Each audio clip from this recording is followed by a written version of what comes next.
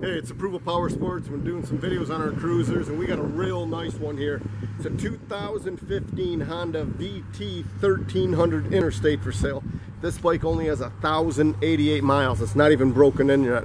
That's right, 1,088 miles.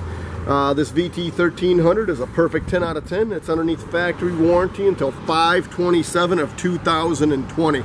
So you guys can buy it with confidence. Loaded up with the saddlebags, the paint's flawless, chrome shines like new. It's been inspected by an authorized dealership.